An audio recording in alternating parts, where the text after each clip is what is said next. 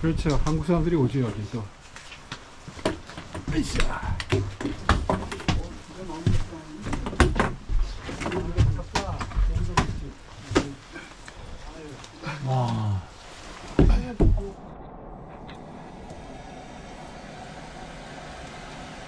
이쪽으로 조금 돼. 불이 좀 세니까. 이 밥을 먹기 위해서 지금 이렇게 비가 와도 오는 거 아니야?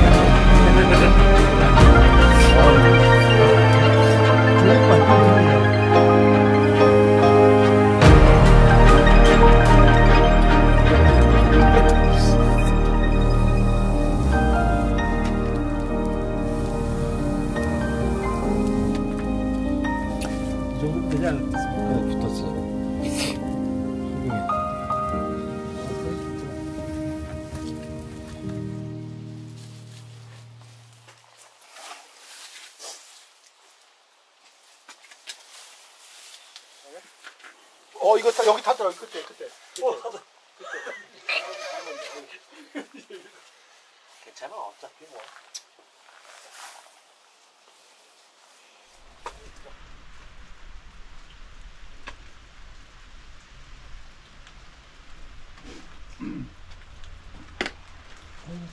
자, 가시죠. 됐나요? 네. 아, 한번 좀. 네? 한번 녹였더니 좀. 아, 그래? 어, 손이 따뜻하니까 좋다, 지금. 시, 손 시려웠는데.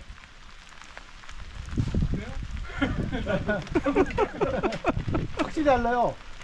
그렇죠? 네, 훨씬 좋은데요. 손이 좋아요. 네. 따뜻한 게 손이 막 끝이 시려웠는데.